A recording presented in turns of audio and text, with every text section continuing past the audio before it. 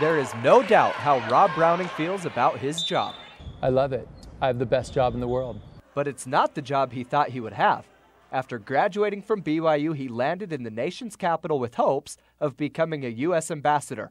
While there, a close friend gave him some friendly advice. Make sure you do what you're meant to do. Make sure you don't miss your calling in life in terms of your occupation. A church leader asked him to coach the youth basketball team. Browning agreed and fell in love. I thought I want to coach volleyball. A simple phone call to his former coach back in Provo is all it took. I told him, Rob, come on, come to BYU, but we have absolutely no money to give you. I said, hey, I got a job. It doesn't pay anything. Let's go.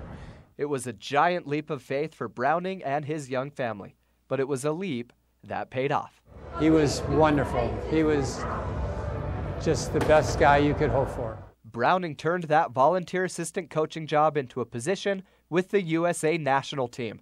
Now he was traveling the world, not as an ambassador, but as a volleyball coach. I have to just pinch myself and say, Can you believe that you're here? Less than one decade after making that phone call to McGown, a small private school in California came calling his name.